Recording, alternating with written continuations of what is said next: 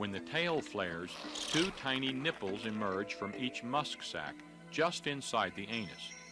Packed in muscle, these sacs can fire a blinding teaspoon-sized squirt as far as 15 feet. A six-shooter, the skunk gets a half dozen shots before it needs to reload. Of course, one shot usually does the trick.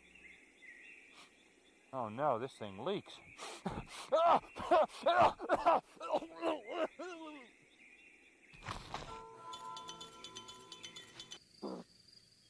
This is the rare hog-nosed skunk. It's our largest skunk by its solid white back and naked pig-like nose. Forage by night.